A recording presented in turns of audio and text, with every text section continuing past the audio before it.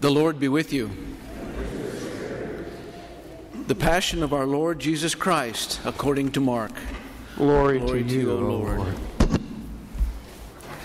The Passover and the Feast of the Unleavened Bread were to take place in two days' time.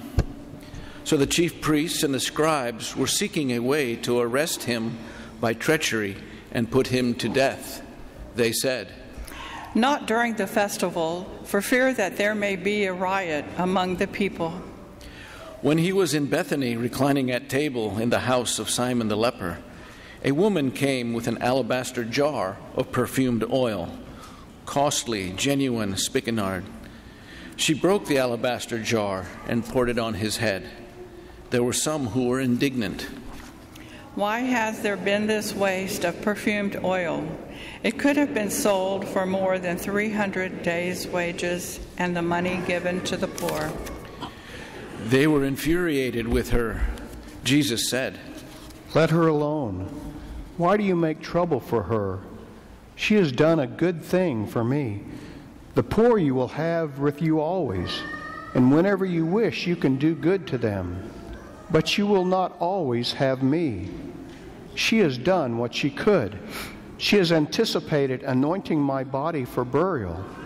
Amen, I say to you, wherever the gospel is proclaimed to the whole world, what she has done will be told in memory of her. Then Judas Iscariot, one of the twelve, went off to the chief priests to hand him over to them. When they heard him, they were pleased and promised to pay him money. Then he looked for an opportunity to hand him over. On the first day of the feast of unleavened bread, when they sacrificed the Passover lamb, his disciples said to him, Where do you want us to go and prepare for you to eat the Passover? He sent two of his disciples and said to them, Go into the city, and a man will meet you carrying a jar of water. Follow him. Wherever he enters, say to the master of the house, The teacher says, Where is my guest room where I may eat the Passover with my disciples? Then he will show you a large upper room furnished and ready. Make the preparations for us there. The disciples then went off, entered the city, and found it just as he had told them, and they prepared the Passover. When it was evening, he came with the twelve, and as they reclined at table and were eating, Jesus said, Amen, I say to you, one of you will betray me, one who is eating with me. They began to be distressed and to say to him one by one, Surely it is not I. He said to them, One of the twelve, the one who dips with me into the dish.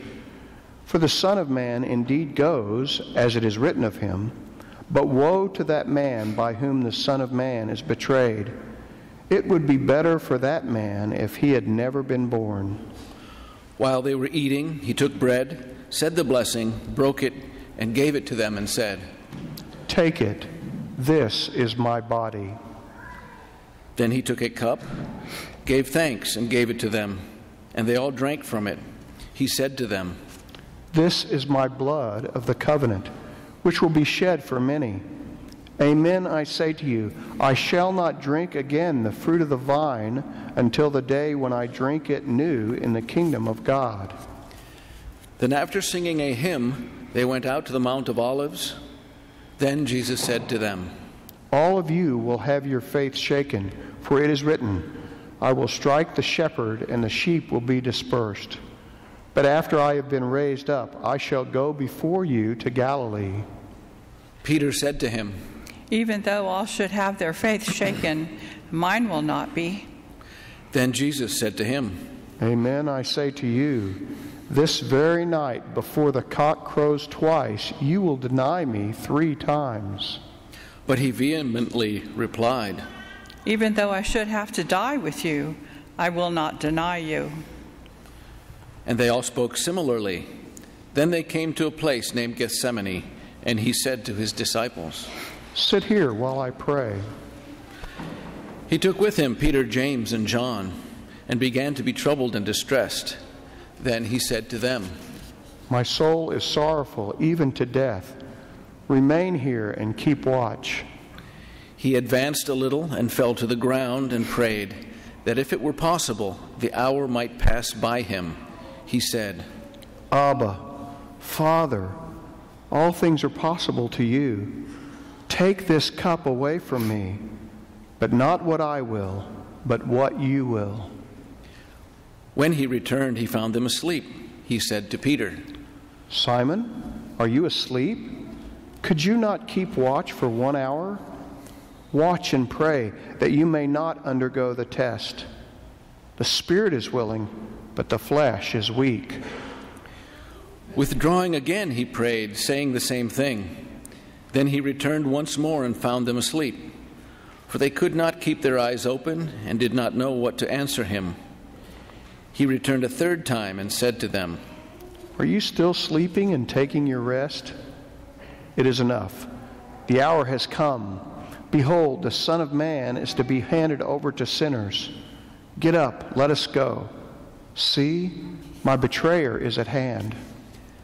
Then, while he was still speaking, Judas, one of the twelve, arrived, accompanied by a crowd with swords and clubs, who had come from the chief priests, the scribes, and the elders. His betrayer had arranged a signal with them, saying, The man I shall kiss is the one. Arrest him and lead him away securely. He came and immediately went over to him and said, Rabbi. And he kissed him. At this, they laid hands on him and arrested him. One of the bystanders drew his sword, struck the high priest's servant, and cut off his ear. Jesus said to them in reply, Have you come out as against a robber with swords and clubs to seize me? Day after day I was with you teaching in the temple area, yet you did not arrest me, but that the scriptures may be fulfilled. And they all left him and fled. Now a young man following him, wearing nothing but a linen cloth about his body. They seized him, but he left a cloth behind and ran off naked. They led Jesus away to the high priest, and all the chief priests and the elders and the scribes came together. Peter followed him at a distance into the high priest's courtyard and was seated with the guards, warming himself at the fire. The chief priests and the entire Sanhedrin kept trying to obtain testimony against Jesus in order to put him to death, but they found none. Many gave false witness against him, but their testimony did not agree. Some took the stand and testified falsely against him, alleging, We heard him say, I will destroy this temple made with hands, and within three days I will rebuild another not made with hands. Even so, their testimony did not agree. The high priest rose before the assembly and questioned Jesus, saying, Have you no answer? What are these men testifying against you? But he was silent and answered nothing. Again, the high priest asked him and said to him, Are you the Christ, the Son of the Blessed One? Then Jesus answered, I am. And you will see the Son of Man seated at the right hand of the power and coming with the clouds of heaven. At that, the high priest tore his garments and said, What further need have we of witnesses? You have heard the blasphemy. What do you think? They all condemned him as deserving to die. Some began to spit on him. They blindfolded him and struck him and said to him, Prophesy. And the guards greeted him with blows. While Peter was below in the courtyard, one of the high priest's maids came along. Seeing Peter warming himself, she looked intently at him and said, You too were there with the Nazarene Jesus. But he denied it, saying, I neither know nor understand what you are talking about. So he went out into the other court. Then the cock crowed. The maid saw him and began again to say to the bystanders, The man is the one. Once again he denied it. A little later, the bystanders said to Peter once more, Surely you are the one of them, for you too are a Galilean. He began to curse and to swear. I do not know this man, what whom you are talking And immediately a cock crowed a second time. Then Peter remembered the words that Jesus had said to him Before the cock crows twice, you will deny me three times. He broke down and wept. As soon as morning came, the chief priests with the elders and the scribes, that is, the whole Sanhedrin, held a council. They bound Jesus, led him away, and handed him over to Pilate. Pilate questioned him. Are you the king of the Jews? He said to him in reply, You say so. The chief priests accused him of many things. Again, Pilate questioned him. Have you no answer? See how many things they accuse you of. Jesus gave him no further answer, so that Pilate was amazed. Now, on the occasion of the feast, he used to release to them one prisoner whom they requested. A man called Barabbas was then in prison, along with the rebels who had committed murder in a rebellion. The crowd came forward and began to ask him to do for them as he was accustomed. Pilate answered, Do you want me to release you to the king of the Jews? For he knew that it was out of envy that the chief priests had handed him over. But the chief priests stirred up the crowd to have him release Barabbas for them instead. Pilate again said to them in reply, Then what do you want me to do with the man you call the king of the Jews? They shouted again. Crucify him. Pilate said to them, Why? What evil has he done? They only shouted the louder. Crucify him. So Pilate, wishing to satisfy the crowd, released Barabbas to them, and after he had Jesus scourged, handed him over to be crucified. The soldiers led him away inside the palace, that is, the praetorium, and assembled the whole cohort. They clothed him in purple, and weaving a crown of thorns, placed it on him. They began to salute him with, Hail, King of the Jews! and kept striking his head with a reed and spitting upon him. They knelt before him in homage, and when they had mocked him, they stripped him of the purple cloak, dressed him in his own clothes, and led him out to crucify him. They pressed into service a passerby, Simon a Cyrenian, who was coming in from the country, the father of Alexander and Rufus, to carry his cross. They brought him to the place of Golgotha which is translated place of the skull. They gave him wine drugged with myrrh, but he did not take it. Then they crucified him and divided his garments by casting lots for them to see what each should take. It was nine o'clock in the morning when they crucified him.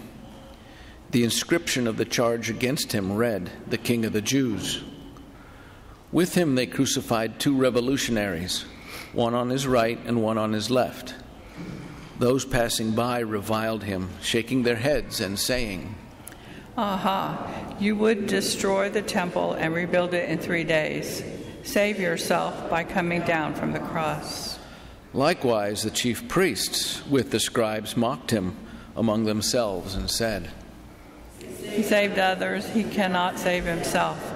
Let the Christ, the King of Israel, come down now from the cross that we may see and believe. Those who were crucified with him also kept abusing him. At noon, darkness came over the whole land until three in the afternoon. And at three o'clock, Jesus cried out in a loud voice, Eloi, Eloi, lema sabachthani. which is translated, My God, my God, why have you forsaken me? Some of the bystanders who heard it said, Look, he is calling Elijah. One of them ran, soaked a sponge with wine, put it on a reed, and gave it to him to drink, saying, Wait, let us see if Elijah comes to take him down. Jesus gave a loud cry and breathed his last. Let us kneel.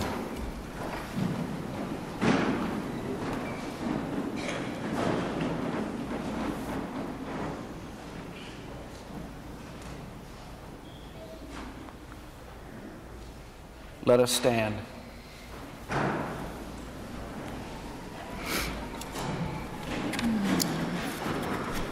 The veil of the sanctuary was torn in two from top to bottom.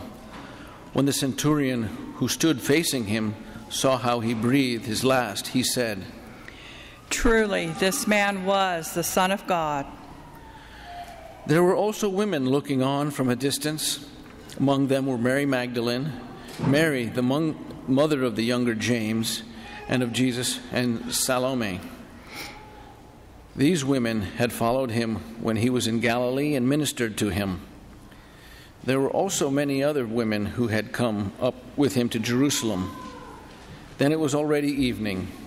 Since it was the day of preparation, the day before the Sabbath, Joseph of Arimathea, a distinguished member of the council, who's himself awaiting the kingdom of God, came and courageously went to Pilate and asked for the body of Jesus. Pilate was amazed that he was already dead. He summoned the centurion and asked him if Jesus had already died. And when he learned of it from the centurion, he gave the body to Joseph. Having bought a linen cloth, he took him down, wrapped him in the linen cloth, and laid him in a tomb that had been hewn out of the rock. Then he rolled the stone against the entrance to the tomb. Mary Magdalene and Mary, the mother of Joses, watched where he had laid. The Gospel of the, the Lord. Gospel of the Lord. Christ.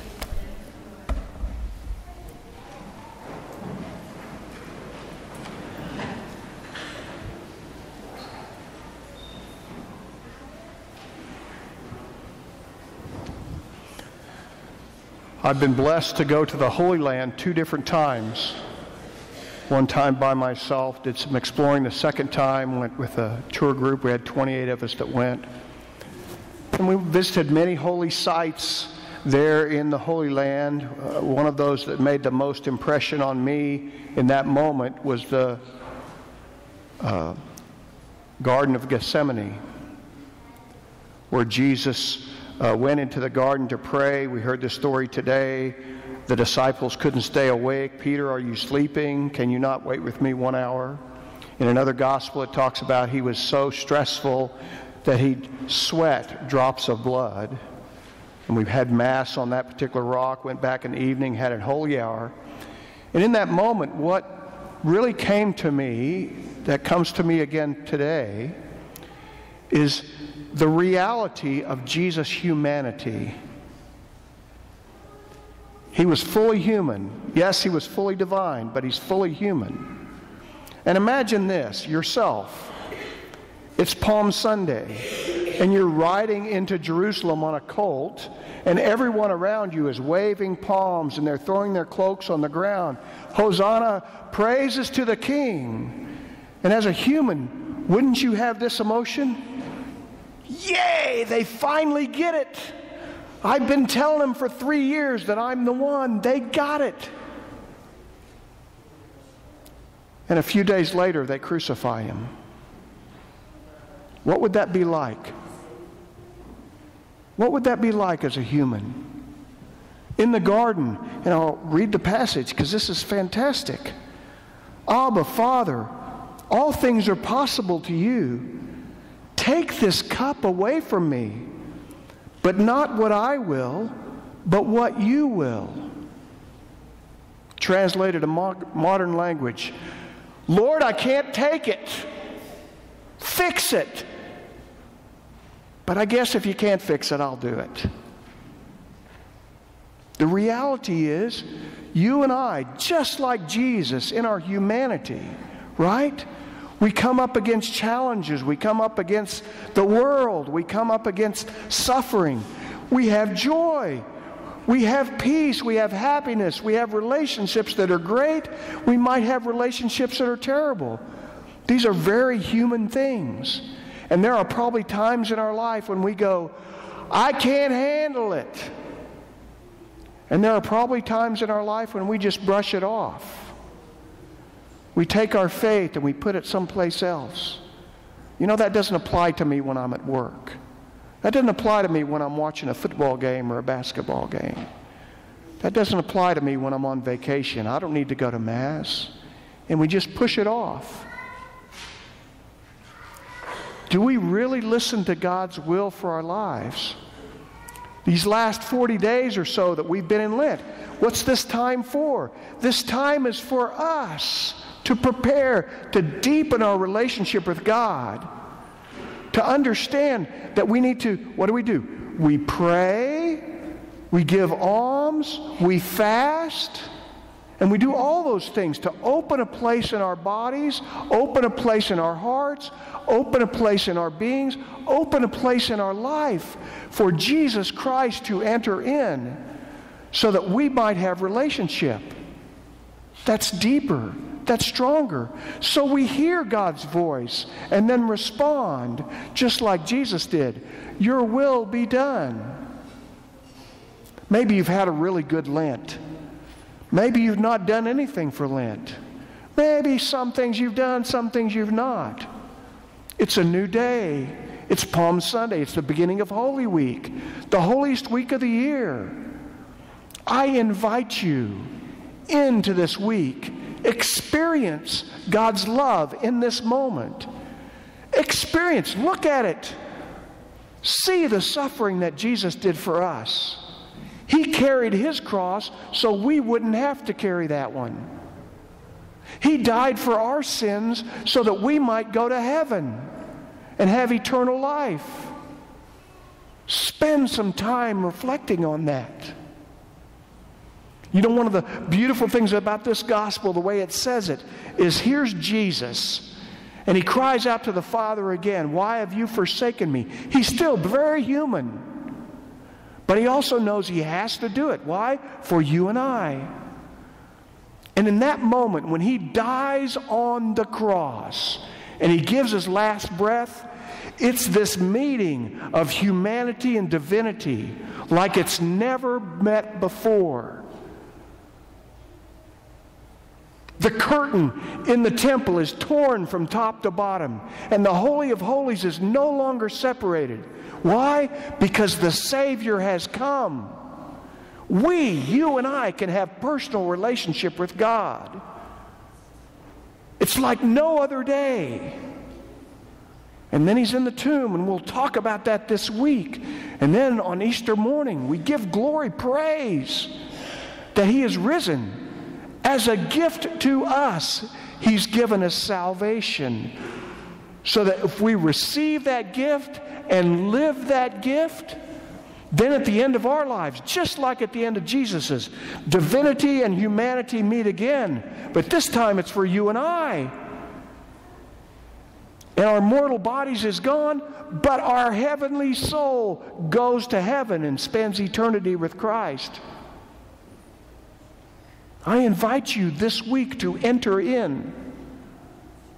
If you've not done anything, now's the time.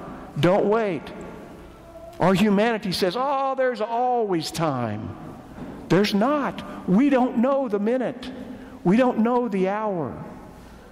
Enter in. If you've gone to confession, beautiful. If you've not and you want to, or if you've not and you need to, or if you've not, maybe it's just time to, go to confession this week. Wednesday evening, 4:30, hearing confessions before the 5:15 mass. Saturday, we'll be hearing confessions from 4 o'clock until there's nobody to hear confessions. Today, 12:30, Father Carlos will be in the confessional. Come to confession. Get those sins wiped away so in this moment, this most holiest of week, you can enter deeper into this relationship with God. Holy Thursday, come, 7 p.m. Spanish here, English at St. James. Come, experience the celebration of the Last Supper, the first Mass. Again, where divinity and humanity meet, Jesus gives of his body and his blood to the apostles that you and I get to receive at every Mass. Good Friday, 3 o'clock, Stations of the Cross, here and at St. James. Come, walk the stations. Reflect on what Jesus did for us. After the stations, it's Divine Mercy Novena for the following Sunday, which is Divine Mercy Sunday. His divine mercy that He pours out on us from the cross. They poke His side, and blood and water come out. That's His divine mercy. His blood that wash away our sins, the water that baptizes us, taking original sin away. Wow. Pray each day with those praying at 3 o'clock for the Divine Mercy Novena. If you've never been to an Easter vigil, this is the year. Make a commitment. We have 15 or 16 people coming into the church. Four of them have never been baptized. They'll be coming in on an Easter vigil. It's a beautiful way for us to enter into this moment of the light of Christ coming to the world bringing us his salvation, when the joy of Easter really takes on a, a beautiful reality, especially for us as we witness those 15 who get to receive the Eucharist for the first time. What a beautiful way to enter in. Invite your friends, invite your families. If you know someone that hasn't been to church in a while, call them up, invite them, go by and pick them up. It'll be the blessed blessing you can give to them. They'll thank you for it. Why? Because just like Jesus, sometimes we need to step out of our comfort zone. Sometimes we need to do things that challenge us or make us suffer or make us pain and put us in pain to do the right thing to further salvation for another person. That's who we are as Christians. That's why we come to Mass. As we pray together, as we sing together, as we wave palms together, as we come up to this table where we receive His body and blood. Again, divinity and humanity meeting. We take the Eucharist and we let it change us. We let it deepen our relationship with our Father. That is what Easter is about. That is what Holy Week is for. That is the gift that God has given us of Himself through the sacraments, through the Word, through each other, and through the church. I invite you to fully enter in to develop that relationship with Jesus Christ that changes all of us.